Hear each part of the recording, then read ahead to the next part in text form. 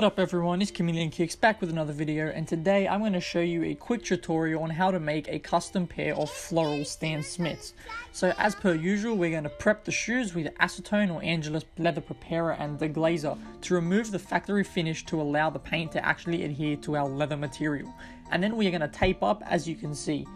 Some bits are going to be off camera just to speed up the process, but basically you just want to tape up the panels and in the next shot you'll actually see which panels we tape up.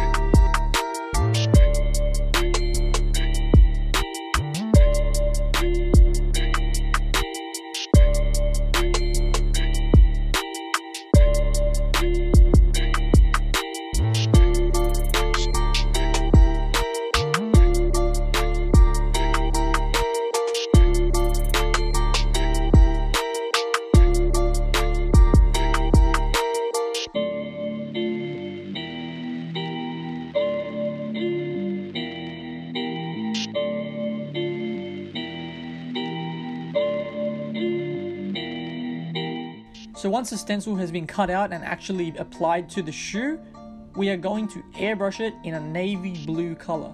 Just remember you're going to make sure you don't want any overspray to go anywhere so keep putting your hand on the areas that you don't want the overspray to go and use any object to cover up those areas. As you can see here I'm just using a card.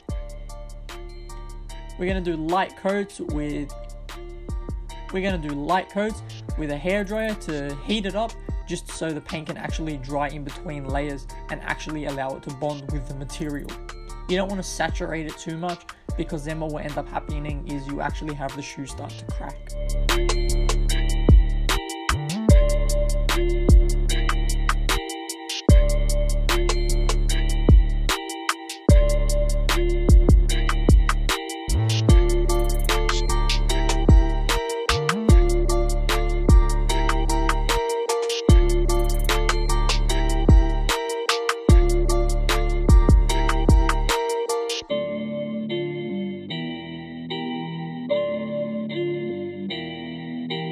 And once both sides have been painted, we're going to actually unmask the shoe and unweave the stencil, as you can see here, and then you'll see the final outcome of what this stencil actually looks like once it's taken apart.